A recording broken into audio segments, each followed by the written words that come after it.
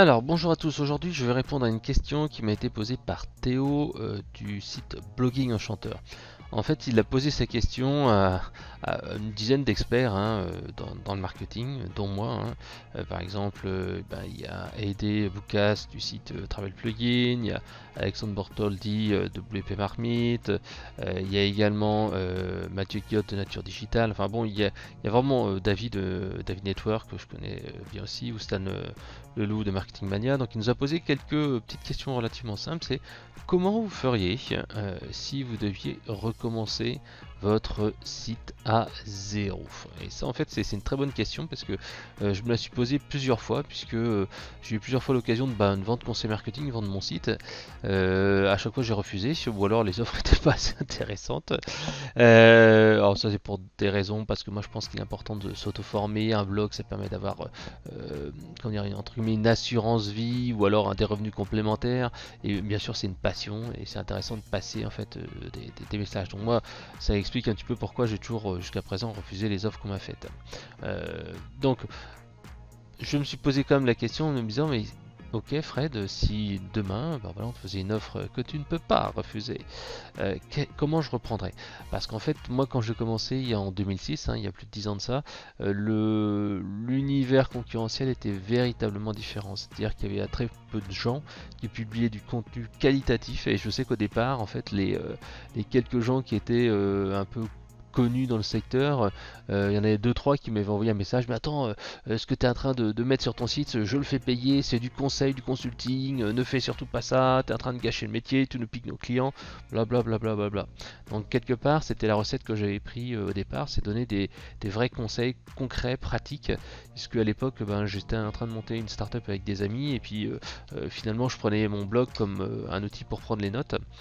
Et donc finalement, c'était mon plan d'action concret à moi. Je faisais une veille, je, faisais, je notais un petit peu tout. Donc c'est pour ça en fait que j'ai créé le site au départ, c'est pour ça en fait que le positionnement il est comme ça, donne des conseils concrets pratiques.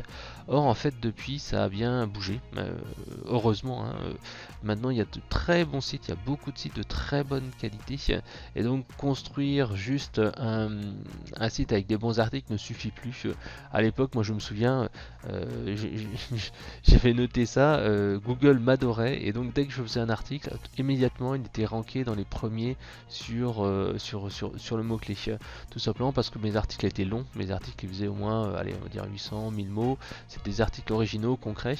Et j'avais en fait euh, aussi une, une grosse, grosse, grosse propension à faire de la, promo au départ. C'est-à-dire que pour chaque gros article que je faisais, je pense que je passais au moins une demi-heure minimum à, faire la promotion. À l'époque, c'était sur les sites de partage, c'était un peu sur les réseaux sociaux, c'était également envoyer des mails à mes contacts, etc., etc.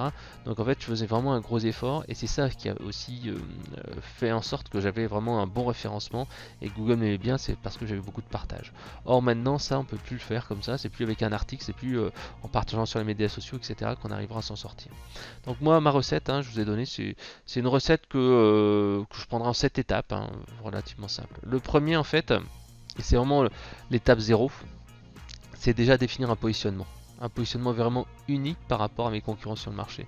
Euh, parce que en fait, malheureusement, euh, actuellement, si je me relançais dans le conseil marketing, si je faisais conseil marketing bis, bah, ça marcherait pas trop parce qu'en fait, euh, bah, il y aurait beaucoup de sites comme le mien qui seraient euh, dans, ma thématique. Donc en fait, ça serait compliqué de se différencier. Donc il faut au contraire se dire, bah, ok, qu'est-ce que je peux changer dans la forme, qu'est-ce que je peux changer dans le fond, qu'est-ce que je peux changer dans, dans, la manière de faire qui va changer? Par exemple, en fait, il y a beaucoup de gens qui se mettent dans la vidéo. Alors par contre, si je faisais de la vidéo, je le ferais pas comme maintenant. Si vous regardez mes vidéos, hein, vous allez sur, euh, sur ma chaîne YouTube, euh, ma tactique actuelle c'est faire des vidéos d'une demi-heure, 45 minutes, vraiment du truc euh, très très tutoriel, très très détaillé avec du, du, conseil. Ça en fait c'est un petit peu ma, ma patte, ma marque de fabrique. Or en fait, si ça c'est bien quand on, quand on veut se lancer en, complément d'un site internet. C'est-à-dire que ça va pas être ça qui va me permettre d'avoir un trafic de malade. Parce qu'en fait, le format sur YouTube, le format long, c'est bien pour entre guillemets euh, attirer quelques personnes qui ont des besoins particuliers. Mais le format YouTube, c'est pas celui-là. Le format YouTube, c'est des vidéos de 3 4 minutes, etc. etc. maximum. Avec euh, vraiment des conseils un petit peu choc, un peu concrets. Euh, mais en même temps un petit peu aussi teaser. Donc en fait, c'est pas le format que j'ai ne conviendrait pas pour recommencer à zéro sur, sur, uniquement YouTube. Il faudrait vraiment que, j'utilise d'autres stratégies, donc je ne dévoilerai pas là ici, mais c'est pas ces stratégies-là qu'il faudrait, c'est-à-dire si vous regardez une de mes vidéos, hein, des vidéos de 30 minutes ou 35 minutes, etc., avec juste des conseils concrets, pratiques, c'est pas comme ça qu'on réussirait, donc je ferai de manière différente. Autrement aussi sur le fond, euh, c'est également s'adresser sur une cible bien précise. C'est-à-dire que euh, si je devais refaire conseil marketing, eh ben, je ne ferais pas euh, conseilmarketing.fr. Je ferais par exemple un site pour une cible en particulier. C'est-à-dire que je m'adressais par exemple, parce que c'est ma spécialité, aux startups ou aux, éditeurs de logiciels cloud qui veulent en fait se faire connaître. Et je ne m'amuserai plus à refaire conseil marketing où je parle de blogging, où je parle de, de carte de visite, etc. etc mais je vraiment je, ne bloguerai plus sur une thématique mais sur une personne en particulier qui serait cette cible là pour moi bon, les éditeurs de logiciels ou les startups cloud voilà. Donc le blog en fait c'est pas un business c'est vraiment se dire ça. Le blog c'est juste un outil un outil pour euh, se faire connaître Ensuite, euh, j'utiliserai aussi une stratégie océan bleu ou une stratégie vache pourpre de cette codine. Alors qu'est-ce que ça veut dire? Euh, La stratégie océan bleu, c'est-à-dire que je vais voir en fait quels sont les critères de choix euh, actuellement d'un blog. Hein. Alors actuellement, ça peut être article de qualité, c'est uniquement du texte, c'est du, conseil de fond, il n'y a pas d'interview, tout est gratuit, il y a juste quelques illustrations, blablabla. Bla, bla, bla. Donc en fait, c'est les à peu près, euh, généralement, il y a moins de 10 critères de choix lorsqu'on choisit un produit ou un blog ou n'importe quoi. Donc on choisit ces, 7 à 10 critères, généralement il n'y en a pas beaucoup plus. Et tout simplement, on va en supprimer certains et on va en ajouter de nouveaux. Et on va maximiser les autres. Euh, je vous donne un exemple. Euh, si par exemple les blog leaders dans le marketing sont tous comme les miens, ce qui n'est pas le cas, mais c'est vraiment pour vous montrer. Si les blog leaders euh, dans mon secteur d'activité ont tous des articles qui sont très longs, euh, ont tous en fait 2-3 euh, illustrations, ont tous un ton plutôt vous faites ceci, vous faites cela, et bien tout simplement je, je changerai ma cible, c'est-à-dire que je ferai des articles super courts euh, peut-être que de la vidéo, euh, ou peut-être que des images, tiens, peut-être que des images, que de la BD, et euh, je, bah, j'aurai un ton plutôt humoristique, pas très sérieux, un peu décapant, et j'essaierai un petit peu de, clasher tout le monde, voilà, par exemple. Hein. Donc en fait, c'est comme si vous preniez comme, normalement ça se fait sous la forme d'un fichier Excel, on met une note, hein. par exemple le, euh, le ton, est-ce qu'il est sérieux, il n'est pas très sérieux, il est extrêmement sérieux, note 1 à 5, est-ce que les, articles courts, longs, est-ce que le ton est, euh, bah, comme je dis, sérieux ou pas, etc., etc. Donc en fait ça permet de voir quels sont les critères de choix et comment moi je vais supprimer, je vais mettre, ça va être plus du tout sérieux, ça va être plus du tout vous, mais ça va être toi, etc., euh, etc. L'autre principe, c'est la vache pourpre. C'est un, un, petit peu différent. C'est de repartir de zéro en se disant, ok, d'accord, euh, par exemple, mes, clients, c'est les éditeurs de logiciels, c'est les startup cloud. Qu'est-ce que veut une startup cloud? Qu'est-ce que veut un, éditeur de logiciel Et comment je peux faire pour les séduire le, plus possible? Alors, bien entendu, qu'est-ce que je ferais? Euh, Imaginons que bah, pour cette cible-là, bah, je me dirais, tiens, je vais leur mettre un petit plan d'action. Je suis éditeur de logiciel, comment je peux vendre plus? Ou comment je peux maximiser mes prix? Ou comment je peux euh, faire ceci? Comment je peux faire cela? Comment je peux me développer à l'international? Euh, comment je peux faire un bon onboarding process de, mes nouveaux clients, blablabla. Bla bla bla Donc je, je m'intégrerai euh, et je m'attellerai à faire uniquement euh, des articles qui plaisent à cette cible. C'est-à-dire que je vais vraiment revenir au, back to the basics. Qu'est-ce que sont leurs problèmes? Qu'est-ce qui les empêche de dormir? Qu'est-ce que je peux leur apporter? Qu'est-ce que je peux Qu'est-ce qui leur apporterait que je sais faire qui apporte plus de valeur? Voilà, le plus de valeur. Et donc, bien entendu, je produirai dès le départ des, euh, des produits chers. C'est-à-dire que je vais me dire, tiens, euh, ça c'était une erreur que j'ai fait à un moment, c'était le mythe euh, américain qui était dans les années début 2000 jusqu'à 2010 à peu près. C'est le mythe du passive income, c'est-à-dire que tu sors une formation vidéo ou tu sors une série d'articles et puis ça marche tout seul. Non, en fait, ça, ça marche pas. On sait très bien que pour arriver à ça, il faut avoir un volume extrêmement fort de, de trafic et un site qui démarre n'arrivera jamais, jamais à vivre euh, en vendant des petits e-books à 10 euros, des formations vidéo, des choses comme ça. Il faut obligatoirement proposer des prestations chères, minimum on va dire 500 euros la journée. Ça peut être du consulting, ça peut être de la formation. Si je reviens sur ma, ma cible en fait d'éditeur de logiciels, eh ben je leur dirais bah voilà je vous propose un accompagnement et donc bien sûr vous avez le, petit audit à euh, on va dire 200 euros. C'est une heure, deux heures. Je vous fais un audit de votre stratégie, je vous donne quelques guidelines. Après ben euh, je vous propose un accompagnement d'une semaine où je viens chez vous et je fais ceci cela. Après je vous propose propose un coaching régulier tous les mois et on fait un plan d'action et ceci, cela. Et je vous propose une prestation packagée qui peut être par exemple améliorer votre référencement, générer plus de leads, formation, etc. etc. avec de, donc du, online mais aussi du offline, donc de la présentielle, du présentiel. Donc voilà, ou même du consulting par téléphone, etc. etc. Ça en fait c'est vraiment important parce que euh, quand on est euh, peu de clients, il faut faire de la valeur et pas il faut pas faire du volume. Voilà. Alors bien entendu, avant, euh, oui, ça c'est quelque chose qui est important, avant de proposer une, un positionnement et de, proposer des produits, tout de suite en fait je ferai un test et je validerai que ça marche bien. Alors comment je fais? C'est tout simplement en appelant les premières personnes qui m'ont euh, qui m'ont par exemple visité mon site internet. Je les appelle au téléphone, qui, les personnes qui ont téléchargé un livre blanc par exemple, et je leur demande bah, euh, voilà j'aimerais bien vous parler un petit peu. Est-ce que si je proposais ça, ça vous intéresse? Quels sont les sujets qui vous intéressent? Quels sont vos challenges? Qu'est-ce qui vous empêche de dormir la nuit? Euh, Qu'est-ce qui vous fait vibrer? Qu'est-ce qui vous fait rêver Qu'est-ce que vous avez vu des choses Vous devez ah c'est génial, j'aimerais bien l'avoir, etc., etc. Donc en fait je, ferai ça. S'il faut après, je complète si c'est compliqué d'avoir justement ces, personnes-là euh, immédiatement, ben je fais une landing page avec euh, par exemple WordPress ou Insta page et tout simplement je vais tester avec la pub Facebook Ads sur euh, ma cible, c'est-à-dire les dirigeants, directeurs commerciaux dans le domaine du, du marketing des logiciels pour tester en fait si mon offre convient et si elle est intéressante. Voilà. La deuxième chose, euh, parce que là c'était vraiment le truc basique, à maintenant en fait c'est je vais me dire ok, je vais trouver un nom de domaine original et un nom nouveau. Ça c'est vraiment important. Euh, conseil marketing c'est très bien parce qu'à l'époque, euh, ben, il, y a 10 ans, il n'y avait pas beaucoup de concurrence. Maintenant, trouver un, nom de domaine c'est compliqué. Par exemple, j'aurais pu trouver des noms qui mettent de l'émotion, qui mettent de la valeur. par exemple, ne, ne pas, le magicien du marketing, ou super marketing B2B, ou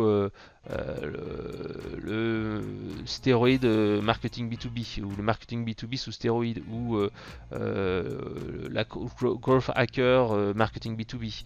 Bref, je, mettrai en fait quelque chose qui, qui a de l'émotion, qui parle, qui résonne en fait dans la tête des gens. Et j'hésiterai pas non plus à me mettre en scène. Ça, c'est véritablement quelque chose que j'ai pas fait au début pendant euh, grosso modo, euh, allez, on va dire euh, quasiment 10 ans ou quelque chose comme ça sur conseil marketing. Si vous alliez sur mon ancien site, on voyait pas ma tête. en fait, j'avais décidé à l'époque de me dire tiens, mon blog en fait c'est une marque, c'est du branding et en fait, ben, un jour peut-être que je me dirais tiens, je vais switcher à 100%. Là, je suis, je suis à temps partiel sur le blog, donc je switcherai peut-être à 100% sur le blog et je vais en faire une marque. Je veux créer une agence, je veux créer vraiment une notoriété et le but c'était pas de me mettre en avant moi, mais dire ok, on est une équipe. Euh, à l'époque, on était aussi une équipe de rédacteurs. J'avais quelques rédacteurs avec moi. Euh, donc en fait, c'était ça. Et maintenant, en fait, je suis vraiment passé de l'autre côté parce que je me dis que euh, il faut maintenant mettre de, l'émotion, montrer qui on est. C'est comme ça en fait qu'on arrive à, à véritablement faire en sorte que les gens achètent chez vous plutôt qu'un autre. Donc maintenant, si vous regardez sur le site, en fait, on voit ma tête, on, me voit moi et ça permet de donner confiance. Et certaines personnes m'ont dit, tiens, je, fais appel à toi pour du consulting parce que j'ai vu que tu as mis ton numéro de téléphone. Si tu mets ton numéro de téléphone, c'est qu'en fait, tu es quelqu'un de, euh, bah, de fiable. C'est quelqu'un qu'on peut avoir, qu'on peut avoir au téléphone. C'est pas un, inconnu. C'est-à-dire que tu as vraiment des produits. Euh, il y a euh, un marketeur américain qui, qui prend vraiment ça, vraiment de manière ultime. Euh, c'est tout simplement Gary Vaynerchuk. En fait, bon, je regarde pas toutes ses vidéos, j'en ai regardé quelques-unes, mais son idée elle est vraiment pas mal. C'est qu'en fait, sa boîte c'est lui. Alors après, le problème c'est quand il faudra la vendre, ça va être compliqué. Parce que moi aussi, c'était à l'époque, je m'étais dit ça, euh, si je me mets moi en avant, comment on va faire pour, pour me vendre euh, pour, vendre en tout cas le, site ou euh, si jamais je veux vendre le business, si c'est que vous, si le, système et le, bug repose uniquement sur vous, c'est très compliqué de le vendre derrière. Parce que c'est vous qui êtes l'essence même du, produit et si ben, vous faites plus partie de l'équipe, c'est compliqué. Donc voilà, c'est pour ça qu'à l'époque aussi, je vais choisir un nom un petit peu générique. Voilà. Alors, L'autre chose, c'est que maintenant aussi euh, sur, euh, sur le web, on ne peut plus réussir avec des, euh, des avis et des idées qui sont passe-partout. Il faut véritablement avoir des avis tranchés. Alors parfois on peut faire de la polémique, hein. de la polémique soft, c'est-à-dire qu'on va pas dire euh, ouais les autres c'est de la merde, mais il faut dire voilà euh, pourquoi moi euh, je, j'ai arrêté Google AdWords, pourquoi Google AdWords c'est vraiment une arnaque, pourquoi ce sont que les pigeons qui font des arnaques, qui sont arnaqués par AdWords? Bref, de la politique, des avis tranchés sur mon secteur d'activité. Ça permet de déclencher de l'émotion, déclencher du débat, se faire connaître et de pas avoir en fait un contenu sans âme, un petit peu corporate comme on voit beaucoup. Il faut véritablement donner de l'émotion. Et euh, moi je le vois de plus en plus, il y a pas mal de blogueurs. Euh, on, peut, on peut citer par exemple euh, Lingen de Solopreneur, on peut nommer Jean de Web Marketing Junkie, etc. etc. qui tutoient leurs lecteurs et qui montrent leur vie personnelle pour encore une fois mettre une liaison en fait et avoir une connexion entre le blogueur et, et en fait l'entreprise. Ça c'est vraiment quelque chose qui marche pas mal parce que les gens se reconnaissent et en fait si vous avez réussi comme ça à les convaincre une fois ou deux avec vos contenus et euh, à faire vraiment euh, vous dire ok moi je, suis, je comprends quel est ton problème, je suis euh, comme toi, etc., etc. Et je peux t'aider, et moi j'ai réussi, etc., etc., etc. Là vous allez véritablement pouvoir avoir une relation privilégiée et donc vendre aux clients parce qu'ils vous feront confiance. Voilà. Alors après l'autre chose, euh, pendant très longtemps j'ai publié un article par jour. Euh, alors parfois c'était des articles vraiment un peu pourraves. À un moment donné je mettais la publicité du jour, c'était juste une image ou une vidéo. Alors ça m'a permis pendant très longtemps d'avoir un, certain trafic intéressant, mais maintenant ça suffit plus. Un article par jour, le problème c'est que euh, ben, on fait pas de la qualité déjà, ça prend du temps. Et je préfère moi maintenant faire un article toutes les semaines. J'en ai un à deux maintenant actuellement, un article toutes les semaines, mais vraiment de super qualité. Et surtout, en fait, je ferai la promotion. Mais encore plus que cela, si je devais en fait recommencer à zéro, j'irais faire du guest posting. C'est-à-dire que j'irais poster sur les blogs de mes partenaires, de mes contacts. Parce qu'en fait, ce qui fait ma richesse à moi, c'est pas mon blog, mais c'est aussi mon, réseau. C'est-à-dire que les gens que je connais. Et donc, j'irais faire du guest posting dans, dans les plus gros blogs que je connais, et même les petits blogs, pour tout simplement me faire reconnaître. Et pour moi, c'est une ou deux fois par semaine pendant euh, toute la période de démarrage, je veux dire 6 mois, 9 mois, bah, il faut publier certes chez vous, mais surtout publier chez les autres pour les amener chez vous et euh, qu'ils soient séduits par votre contenu. Voilà. Autrement, bien sûr, euh, ben, je vous disais, utiliser mon réseau euh, pour essayer d'attirer des gens et la technique des interviews pour rencontrer des influenceurs dans mon domaine. Si je changeais complètement de, secteur ou si même dans mon secteur je me relançais et je disais tiens voilà maintenant je vais me spécialiser dans le marketing B2B, ben, qu'est-ce que je ferais? Eh ben euh, j'irai interviewer les gens qui sont spécialistes là-dedans et je, mettrai en avant, je ferai une, interview un petit peu qualitative. Alors après il y a deux options. L'option en fait c'est de, ok, on va publier des vidéos d'interview par exemple, ou publier des interviews écrites, mais euh, j'essaierai aussi de profiter euh, de, euh, de, la notoriété de ces personnes. Par exemple avec du Facebook Live, je les ferai Facebook Live en même temps que moi, et je les taguerai dessus, et je leur demanderai de partager sur leur cible pour qu'ils puissent partager sur leur communauté et voir mais qui c'est ce gars-là qui est à côté de cette fameuse célébrité ou ce, cet influenceur. Voilà. Donc interview, je les publierai ok sur mon blog, mais en faisant que du best-of du best-of. Le problème en fait des interviews, c'est que les gens en fait, euh, euh, ben, ils sont lassés au bout d'un moment si c'est du blabla, si c'est pas intéressant. Il faut véritablement faire quelque chose qui soit passionnant. Et moi, de plus en plus, ce que je fais quand j'interviewe une personne, après, je rajoute de contenu derrière dans l'interview. C'est-à-dire que j'enrichis l'interview et je reste pas uniquement au niveau de ce qu'on s'est dit, parce que si on est avec une personne qui n'a pas euh, préparé suffisamment, bah, le contenu, parfois, il est foireux, il est vraiment pas intéressant.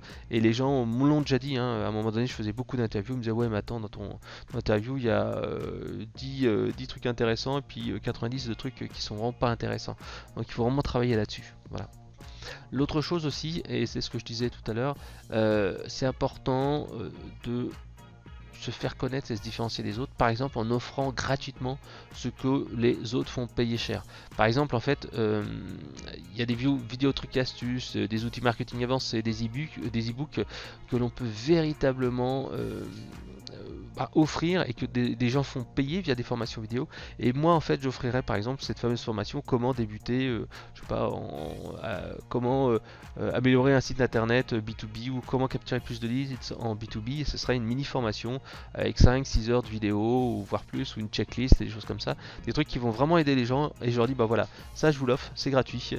Et si vous voulez aller plus loin, voilà, c'est ça. Et surtout après, j'irai faire la promo de ce truc là. C'est-à-dire que j'irai pas me contacter, contenter de juste publier et voilà de mettre sur mon site, bah, j'irai sur LinkedIn, j'irai contacter les directeurs marketing, directeurs commerciaux de ces sociétés-là et les DG de ces sociétés-là, euh, euh, sociétés euh, dans, le B2B, et je leur dirai tiens voilà, j'ai un truc super intéressant, je vous l'offre, c'est ça vaut normalement 10 000 euros ou 5 000 euros ou 1000 euros, et même moi je vous l'offre et ça vous permet d'avoir des trucs concrets. D'ailleurs, je vous fais même un, petit audit si vous voulez après, blablabla. Bla, bla, bla, Donc j'irai vraiment aller chercher les gens et leur montrer ce que j'ai et ce fameux contenu gratuit. Voilà, en plus des, des guest postings.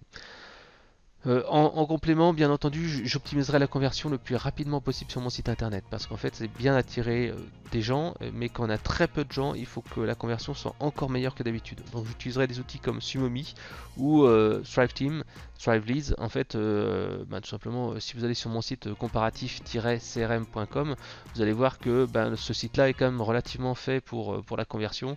Il y a une fenêtre en fait qui apparaît dès le départ dans le plein écran pour attirer des prospects, les inciter à me laisser des coordonnées, j'ai un chat, euh, sur toutes les pages en fait euh, vous avez euh, des, des, incitations pour télécharger un livre blanc. Bref, ce site internet là, il convertit mais à mort quoi. Et si j'avais un site qui démarrait, je ferais ça absolument. Voilà.